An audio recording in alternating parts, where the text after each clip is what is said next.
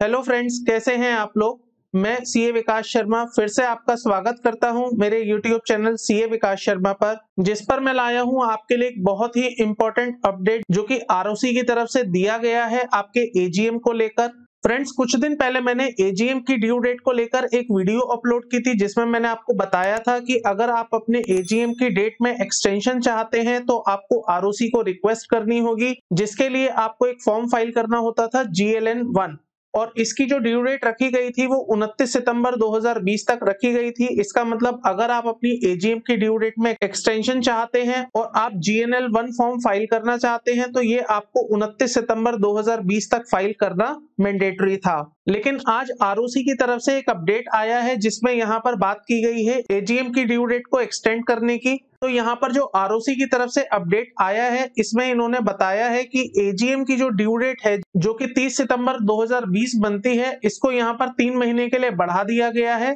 तो चलिए देख लेते हैं क्या अपडेट आरओसी की तरफ़ से यहाँ पर आया है एजीएम की ड्यू डेट के एक्सटेंशन से रिलेटेड तो सबसे पहले जो यहाँ पर बात की गई है, वो है extension of time for holding annual general meeting जिसको कि हम एजीएम कहते हैं for the financial year ended thirty first of March two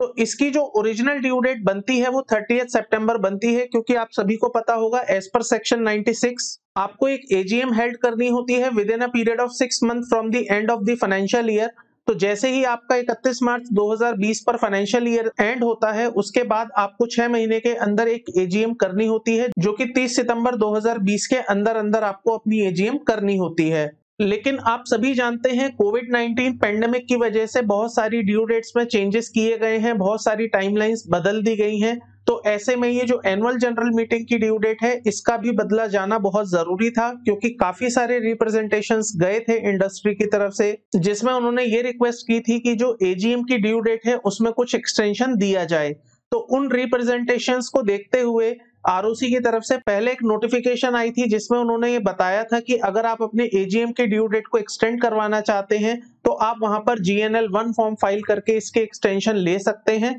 लेकिन आज इस पर एक बड़ा अपडेट आ गया है, जहाँ पर यह कहा गया है कि जो आपके ड्यू डेट है एजीएम के, वो एक्सटेंड कर दी गई है without requiring companies to file GNL one इसका मतलब यहाँ पर कंपनीज़ को जीएनएल वन फॉर्म फ़ाइल करने की ज़रूरत नहीं है, उन्हें एक्सटेंशन की अप्रूवल लेने की भी कोई ज़रूरत नहीं है। यहाँ पर सभी कंपनीज़ के लिए जो ड्यू डेट है एजीएम की, वो बढ़ा दी गई है। तो यहाँ पर जो न्यू ड्यू डेट रखी गई है एजीएम की, वो थर्टी दिसंबर 2020 कर दी गई है।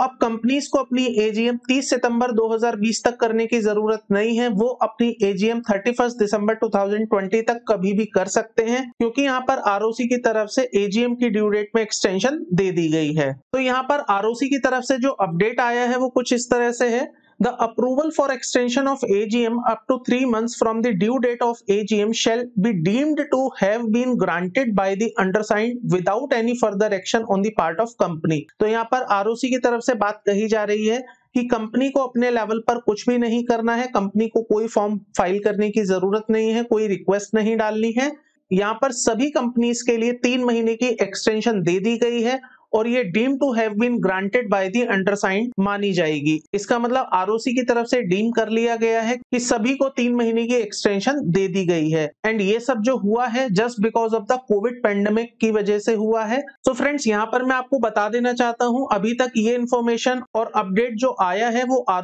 बेंगलुरु आर कर्नाटका पुणे और बहुत सारी स्टेट्स की तरफ़ से का ऑर्डर पास किया जा चुका है। और आने वाले कुछ ही टाइम में रिमेनिंग स्टेट्स की जो आर है, वो भी अपना अपना ऑर्डर पास कर देंगी और इसका आपको अपडेट मिल जाएगा। सो so फ्रेंड्स ये अपडेट था जो आर की तरफ़ से आया है आपके एजीएम की डेट की एक्सटेंशन को लेकर। तो अब आपके पास एक इनफ टाइम है तीन महीने का। अगर आप अपनी एजीएम अभी तक हेल्ड नहीं कर पाए हैं तो आप उसको प्रॉपरली प्लान कर सकते हैं एंड प्रॉपरली आने वाले तीन महीनों में आप उसको हेल्ड करके अपनी कंप्लाइंस पूरी कर सकते हैं। आई होप आपको पता चल गया होगा कि आर की तरफ़ से एजीएम को लेकर किस तरह का अपडेट आया है। अगर आपको ये वीडियो पसंद आई हो तो प्लीज़ वीडियो को लाइक करिएगा चैनल को सब्सक्राइब कर लीजिएगा, साथ में बेल आइकन को भी प्रेस कर दीजिएगा, ताकि आपको मेरे द्वारा लाई गई लेटेस्ट वीडियोस की नोटिफिकेशन मिलती रहे। मैं इसी तरह की वीडियोस आपके लिए लेके आता रहता हूँ। आज की वीडियो में केवल इतना ही था। जल्द ही मिलता हूँ एक नई वीडियो के साथ, नए टॉपिक के साथ। तब तक के लिए थैंक यू बाय